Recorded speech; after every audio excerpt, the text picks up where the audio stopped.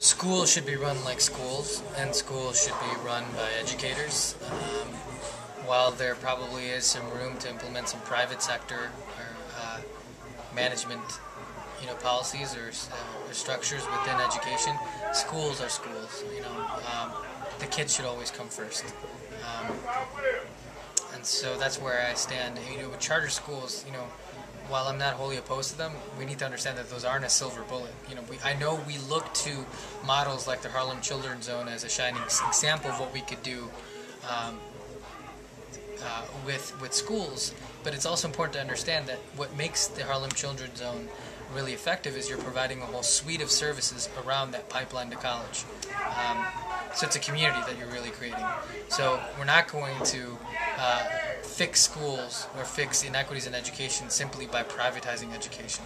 Uh, you know, it's time to look at the bigger picture and the whole picture. There is no silver bullet.